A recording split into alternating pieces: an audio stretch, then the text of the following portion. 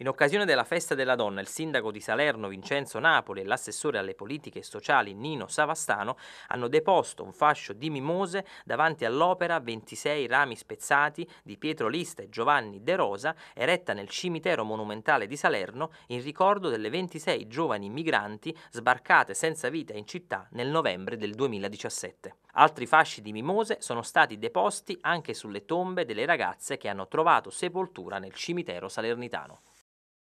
Naturalmente è un messaggio simbolico che fonda le sue determinazioni su un aspetto relativo a valori non negoziabili, i valori dell'umanità, dell'accoglienza, della solidarietà, sono dei valori che in qualche modo devono essere di guida anche nelle tempere attuali. Noi viviamo un momento complicato in Italia e credo che qualche piccolo gesto simbolico nella direzione giusta possa essere utile a tutti utili, utile alla democrazia, alla costruzione delle coscienze.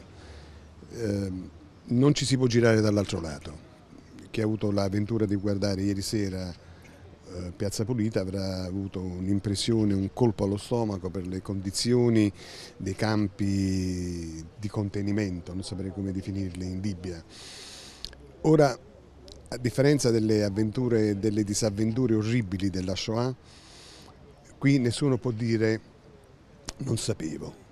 Le cose nella contemporaneità si svolgono sotto gli occhi di tutti e ciascuno nel suo intimo e come parte politica deve farsi carico di tragedie inenarrabili che marcano e marchiano d'infamia la nostra epoca.